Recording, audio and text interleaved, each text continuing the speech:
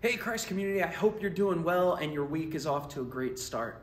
A couple of things to make sure you're aware of that are coming up in the life of the church. First, on February 20th at 4 o'clock here in the building, we're going to have a baby shower for Pastor Chad and Shelly Olds. You're going to want to make sure you're a part of that because it's only the first of three different baby showers that are coming from our pastoral team. So on the 20th at 4 o'clock, plan to be here at the church to celebrate baby Olds. The second thing is on February 26th at 10 a.m. is our leadership community. Now, a lot of people have been asking about this since I announced it a couple weeks ago in our worship time. So, I want to explain a little bit more about what we're trying to do in leadership community.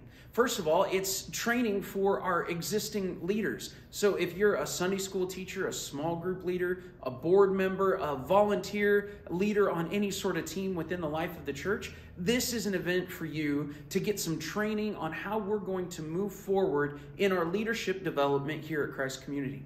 The other thing is that if you're interested in leading, if you have an idea for an area that you are passionate about, that you would love to see started as a part of the life of the church here, this is an event for you to kind of get in and figure out a little bit about how you can get plugged in into leading a great ministry here at Christ Community. So that's Leadership Community on February 26th at 10 a.m. If you even think you might be a leader or you even might want to consider possibly leading something, plan to be there on the 26th.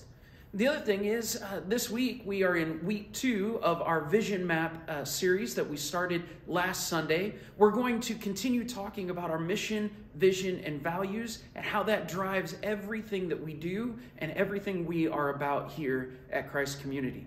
We're going to focus this weekend on Scripture. So I hope to see you on Sunday morning uh, for our worship time and Sunday school, and I hope you have a great week.